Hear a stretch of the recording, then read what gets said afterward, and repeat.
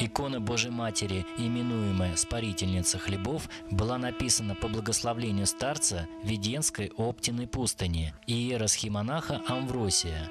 Иконой «Спарительница хлебов» отец Амвросий благословил основанную им недалеко от Оптиной пустыни Шамординскую женскую обитель.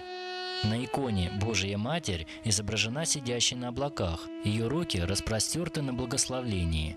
Внизу сжатое поле, а на нем среди трав и цветов стоят и лежат снопы ржи.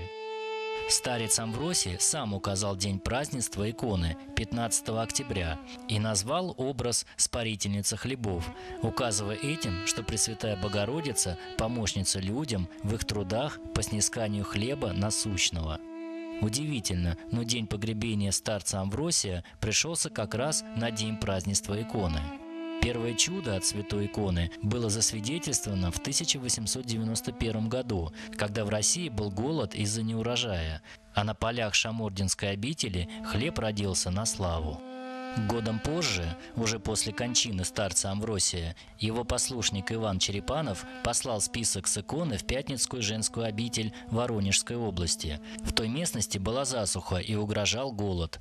Но вскоре, после того, как перед иконой Спарительница хлебов был отслужен молебень, пошел дождь, и засуха прекратилась. Перед иконой Пресвятой Богородицы, Спарительница хлебов, принято молиться об избавлении от засухи и голода, гибели хлебов, о хорошем урожае, защите имущества и возвращении долгов.